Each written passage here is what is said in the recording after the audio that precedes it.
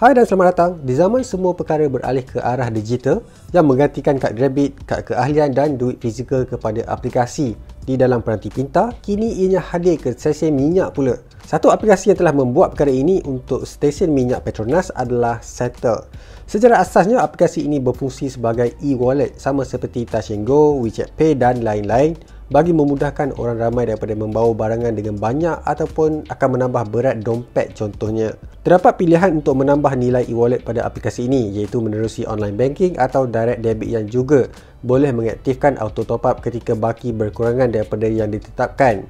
Tambahan lagi, jika anda mempunyai kad keahlian Petronas ataupun kad mesra, ia turut boleh dipautkan pada aplikasi ini. Seterusnya, apabila menggunakan aplikasi Settle, mata ganjaran akan terus ditambah dan melihat jumlah yang telah diterima dengan hanya satu aplikasi sahaja.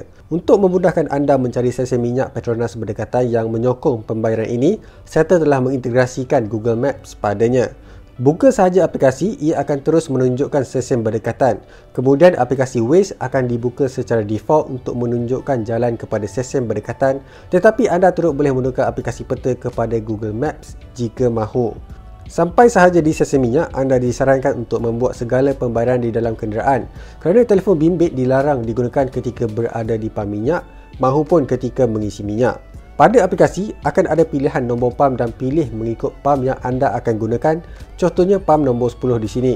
Kemudian, anda harus masukkan kod PIN yang telah disiapkan bagi tujuan security dan akan mula keluar pada skrin Start Fueling Now. Anda boleh memanggil pekerja Petronas untuk isikan untuk anda atau boleh isikannya dengan sendiri. Kami dapati aplikasi Settle sememangnya memudahkan pengguna untuk mengisi minyak bukan kerana tidak perlu membawa wang tunai semata-mata.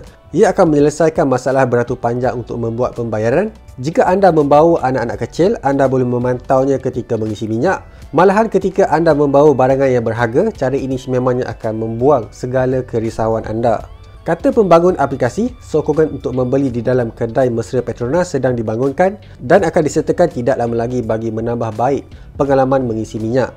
Anda boleh memuat turun aplikasi ini di Apple App Store dan juga Google Play Store. Buat masa ini, Settle mengadakan 10% cashback untuk pembayaran minyak petrol di dalam jangka masa sebulan.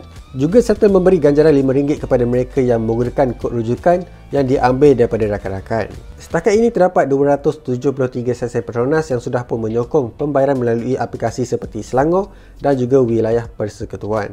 Jadi itu sahaja video kali ini. Seperti biasa, tinggalkan like dan subscribe. Kita berjumpa lagi di video seterusnya.